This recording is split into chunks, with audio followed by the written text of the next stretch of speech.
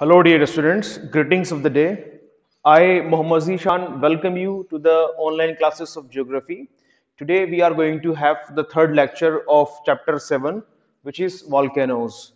In this lecture, we are going to study about the types of volcanoes. So far, I have taught you that what are actually volcanoes and what are the reasons or causes for volcanic eruption and I have also taught you about the structure of volcano and the products of volcanoes in last two videos. In this video, I am going to tell you about the uh, about the types of volcanoes, right?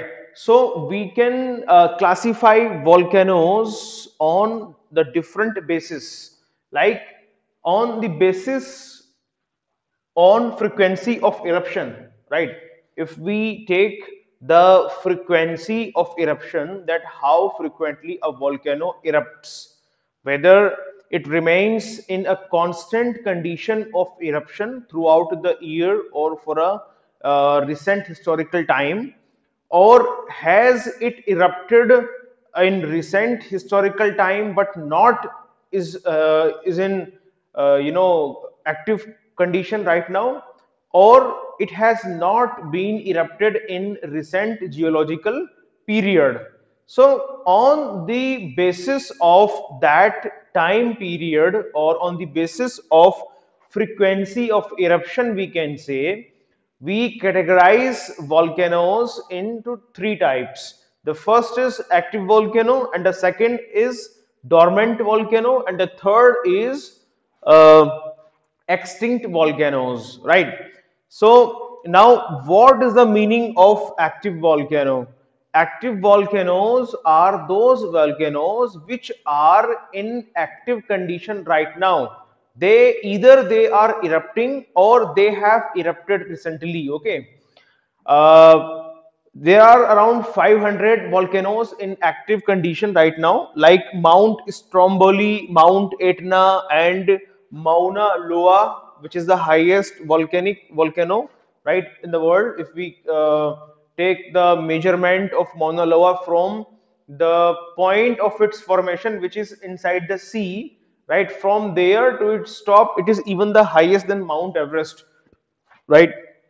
So that is uh, these are called active volcanoes means which have potential also and which are erupting right now okay which are in active condition means they are spilling out magma lava right? Lava is still lava comes out from these uh, vents okay? So these are called active volcanoes. Then second is dormant volcano.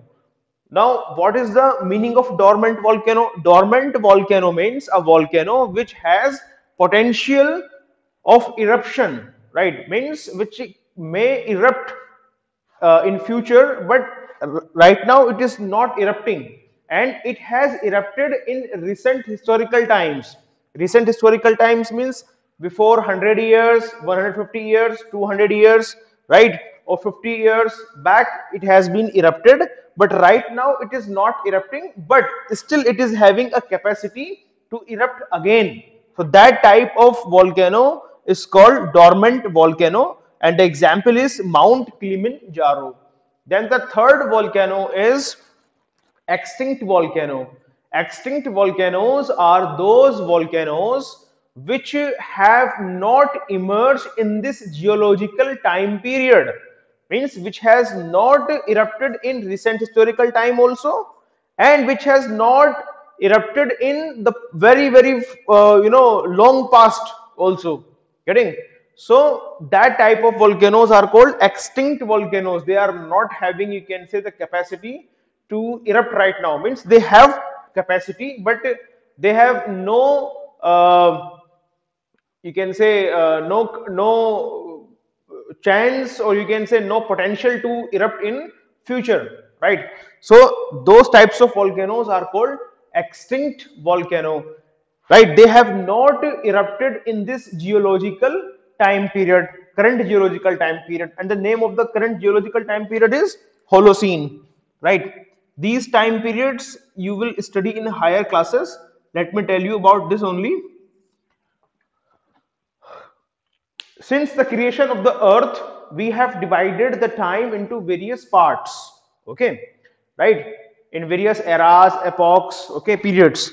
Clear? So, right now the geological time period is Holocene right? Its name is holocene.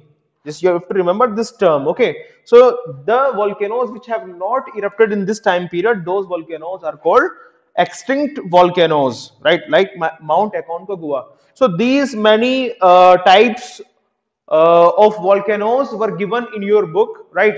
And the other types were not given in your book. So I have given you the additional information, right, about the classification of volcanoes that we will study also these one based on eruption, based on mode of eruption and based on characteristics of lava and based on form of cone developed by uh, developed on surface that we will study but before we need to understand these three types of uh, volcanoes properly. So in your book it is written on the basis of frequency of their eruption volcanoes are classified into three main types active, dormant and extinct volcanoes. Active, dormant and extinct volcanoes. Dormant meaning sleeping okay they are called sleeping volcanoes also clear then active volcanoes these are the volcanoes which are presently in active state and have erupted in the recent past. There are at present about 500 known active volcanoes. About 20 of these volcanoes may erupt at any time. A few of these volcanoes are also in a state of permanent eruption. Some of the example of active volcanoes are Mount Stromboli, Mount Etna in Italy and Pinatubo in Philippines and Mauna Loa in Hawaii right Mauna Loa in Hawaii. Then we are having dormant volcanoes. So dormant volcanoes these volcanoes have not erupted in recent historical period. They are regarded as sleeping volcanoes. What? Sleeping volcanoes.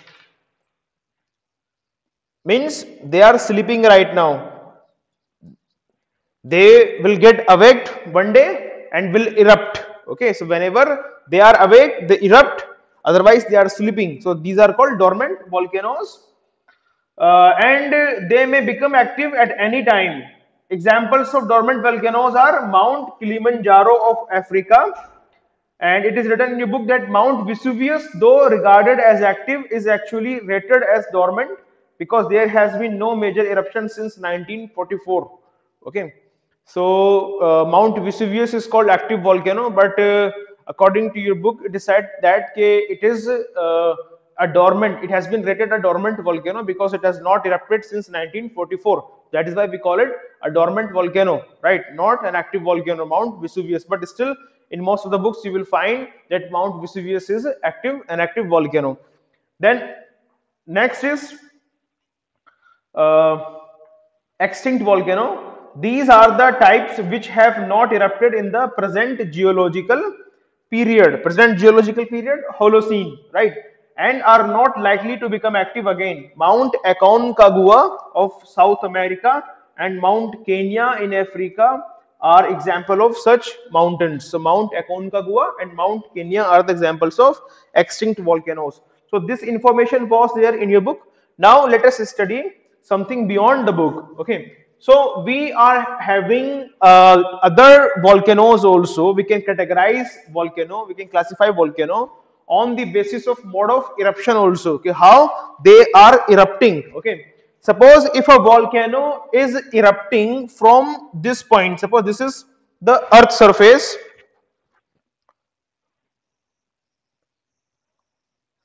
This is the earth surface right? And from this point here from this hole you can say if volcano is erupting in this manner okay from a center clear? So that type of volcano is called center type volcano center type volcano. And if suppose this is the surface of the earth and here if volcano is erupting out from this crack suppose if one crack is there this is a crack here like this okay? And the lava is coming out in linear form from here right in this manner. Getting or not? So that type of volcano is called fissure type volcano right? That is a fissure fissure type volcano. This is center type volcano and it is fissure type volcano. Then we are having next one uh, based on characteristics of lava i have told you in last videos that lava is of two types basic lava and acidic lava.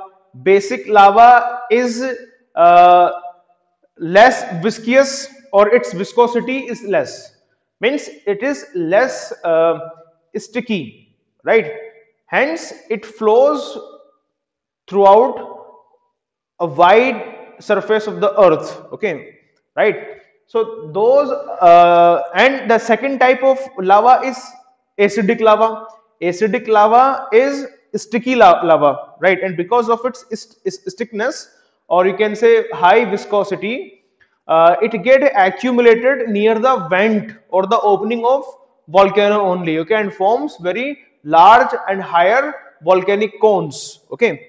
So in case of basic lava the lava flows on very large uh, earth surface on the very large area of earth surface and forms the volcanic shields. Whereas in the case of acidic lava it it uh, it, it, it, it it get collected or deposited where? Near the vent only okay? Near the vent or opening of the lava on, uh, opening of volcano only okay? So that's there so on the basis of characteristics of lava we can divide volcanoes of basic lava and volcanoes with acidic lava. So volcanoes of basic lava obviously right they uh, they will they they are uh, uh, you know uh, they are less viscous okay. Hence they will flow to very large uh, area of earth surface okay? And will form what? They will form shield. Clear? So we can write that shield. Volcanic shield right? So volcanic shield is formed by basaltic lava. And one more thing.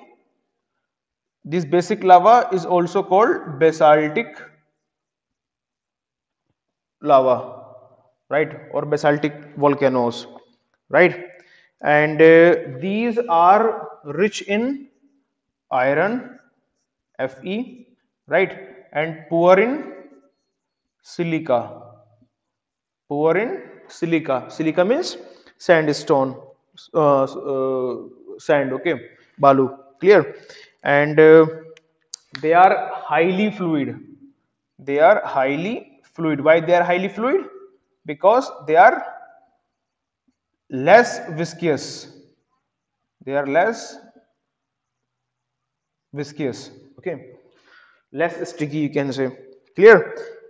So these types of volcanoes are called volcanoes of basic lava. Means the volcanoes which forms uh, you know uh, shields okay? Or you can say all volcanic shields can be categorized as uh, volcanoes of basic lava. Then we are having volcanoes with acidic lava. So this one is highly viscous. Highly viscous means this is very sticky. Viscosity is higher okay? Its viscosity is higher and because of that it uh, cannot flow to a very large or distant area on the earth surface right? And it will get accumulated on where? On the uh, near the opening of volcano right? Then we are having what? We are having Next point is volcano, uh, it is less fluid, highly viscous, less fluid and it is rich in silica, rich in silica, rich in silica, right? And uh, it is of light color. light color and this is of dark color right so it was on the basis of characteristics of lava now we will study the next types of volcanoes which are on the basis of shape of cone right or form of cone developed at surface which type of cone is getting formed on the surface of the earth. Whether the cone is very large okay and stratified right which is called stratovolcano or composite volcano volcano or whether a cone is composed of just pyroclast right? And having an average shape and size which is called cinder right? Or whether the volcanic cone is having very uh, you know huge or big opening. Its crater is uh, bigger than the average craters okay? So that type of volcanoes are called caldera right and then we will study whether the cone which is getting formed is having very lesser height and looks like a shield of a warrior. Okay so that type of cone is called shield cone so these are the uh, these are the shape of the cones formed by the volcanic material okay which uh, uh, which has been erupted during volcanic eruption right? So on the basis of on the, uh, based on form of cone developed at surface or based on shape of cone developed at surface we can divide the volcanoes into uh, majorly four parts. The first is cinder cone or volcanoes. Now what are the cinder cones or volcanoes? See Suppose if this is the surface of the earth, this is surface of the earth, right?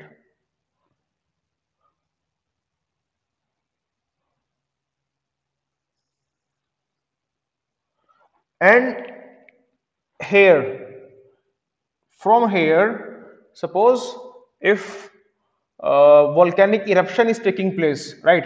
So what will happen when the volcanic eruption will take place? Then what will happen? First, the volcanic ash will come out. First, gases will come out, steam will come out, okay, and then volcanic dust will come out. Then volcanic ashes will come out. Means according to the size of the particles, the material will erupt out. First, the fine particles will come out. Then the heavier particles will come out. Okay and before that the overlying rocks okay the uh, rocks which are overlying okay uh, whether it is sedimentary rocks or other rocks okay which are on the uh, place of volcanic eruption those rocks will be broken down okay? And then the material from inside will come out. So if the material which is coming out from here okay is only cinder or lapilli what is cinder? Cinder means the weaker rocks which are near the uh, you know uh, uh, the magma chamber or in the pipe okay when the lava comes out and it, it takes with it some of the weaker rocks okay and then explosion takes place. So what will happen? This lava will reach into the sky and after that when it will fall down it will get solidified like this it will get solidified like this okay like the broken pieces of rocks okay so when a cone is formed by the broken pieces of rocks which, which are called cinder or lapilli. Okay, cinder or lapilli. When a cone is formed by the broken pieces of rocks, cinder, lapilli or volcanic ash and its height is just average, not very high. So that type of cone is called cinder. Okay cinder cone. So it is formed just like this. Okay suppose this is a vent okay and then this is a vent right and here the material is getting deposited like this.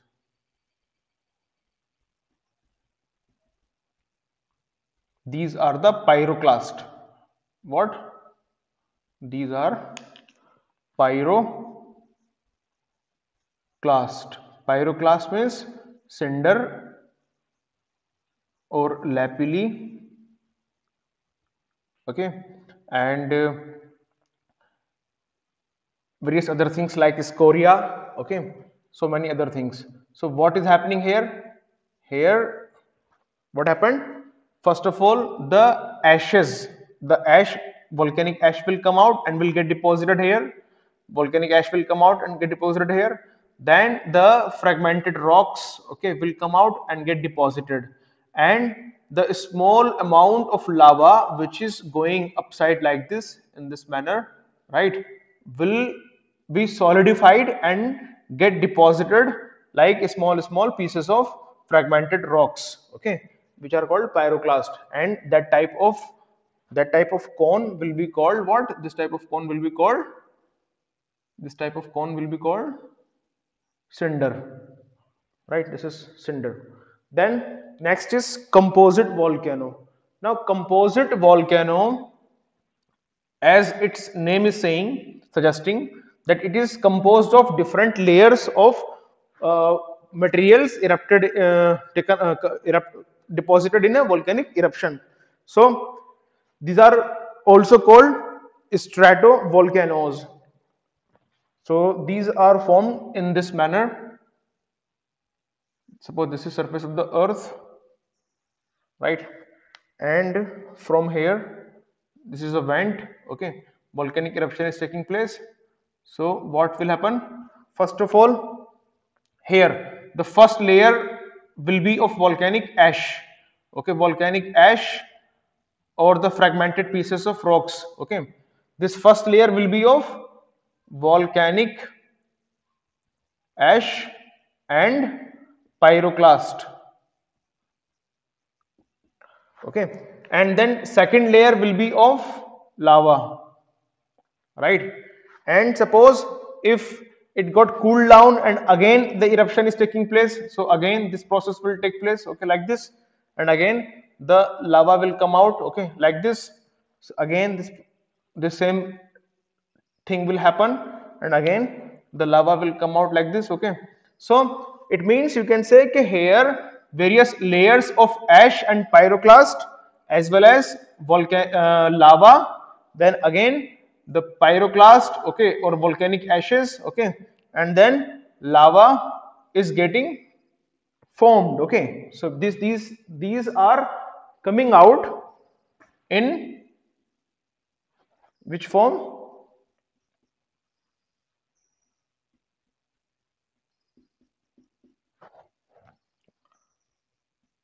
These are getting deposited in the form of layers. Okay in the form of layers.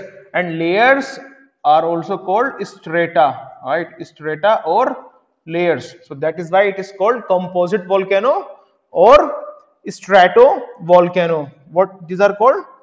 Strato strato volcano composite volcano or strato volcano so the example of this is mount fuji in japan and mount etna in the Sicily of Italy. Okay, Sicily, province of Italy, we are having Mount Etna and the next type of volcano is caldera. Now, what is the meaning of caldera? Caldera, when the size of crater is huge, okay, the size of crater is huge, that is called caldera. Uh, how it, it, it can be formed? It can be formed in this manner suppose if there was a volcanic cone like this okay and it was having this is this was the crater right? This hollow is called crater. The size of crater was like this. Suppose if uh, over over a period of time it this the opening or you can say this vent gets solidified okay right? This vent was blocked and solidified. Then after some time what happened? This lava ascended okay and blasted this entire layer. Which layer? This entire layer and the like this one okay this entire layer right? And this one portion was removed in this explosion. And this much bigger crater was formed okay? So this is called caldera. Means you can say when the size of crater is huge that type of volcano is called caldera. So it can be formed in this manner and it also get formed in another manner.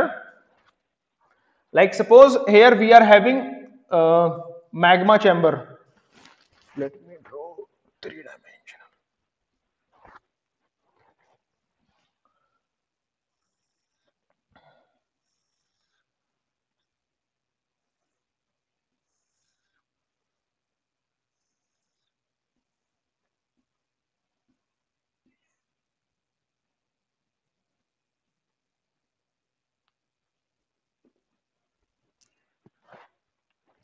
suppose it it is magma chamber right?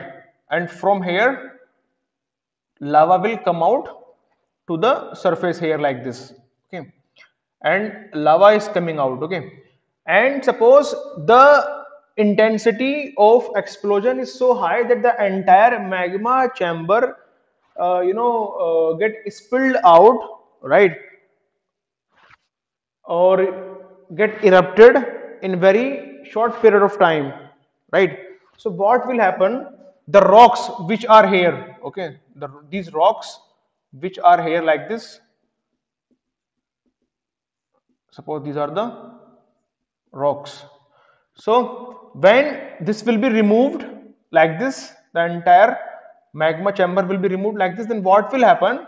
These rocks this layer of rocks will not have a support right? Structural support then what will happen? Then this entire thing will come downside like this. Okay come downside like this like this.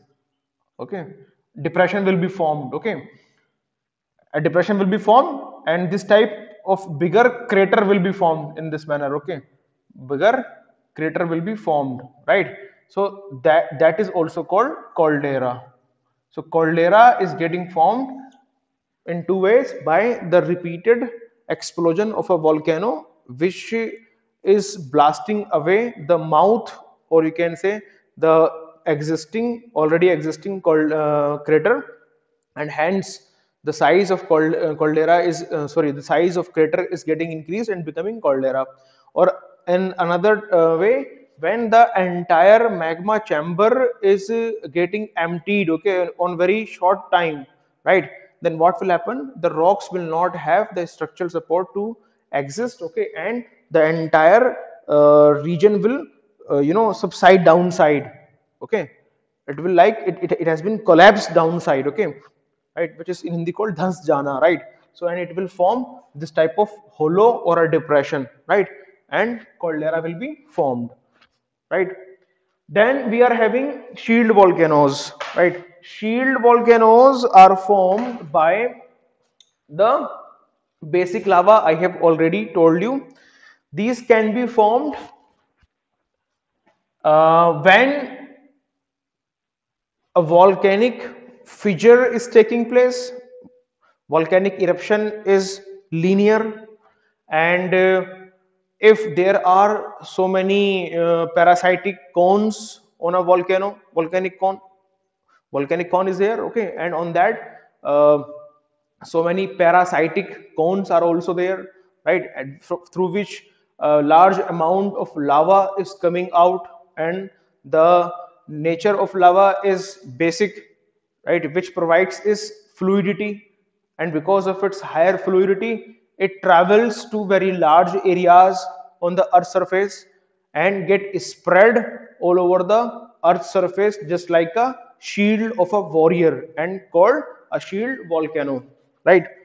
So you can say okay, if it is coming out in this linear form okay and get deposited on very large area or if there is a volcanic cone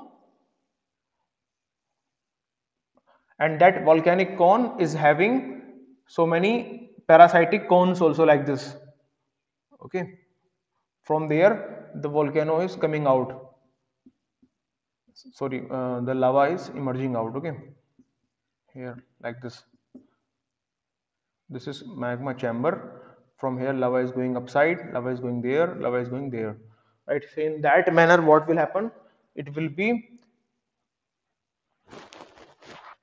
if it is the surface of the earth then it will get spread on entire surface of the earth like this. Right and it will just look like a shield of a warrior. That is called the shield volcano. Like Mauna Mauna Loa of Hawaii. I have already told you Mauna Loa is also the active volcano right? And the example of caldera is Apolaki caldera of Philippine. Apolaki caldera of Philippine. Example of composite volcano is Mount Fuji, Japan, Mount Etna, Italy, and example of cinder cone is Paricutin in Mexico. So these these were the types of volcanoes. I hope that uh, it would have become clear to you. You need to remember these three types majorly. Okay, this will be asked in your exam, and rest of the things you can just uh, keep in your mind for uh, the some some extra for, for some for the sake of some extra information. Thank you so much.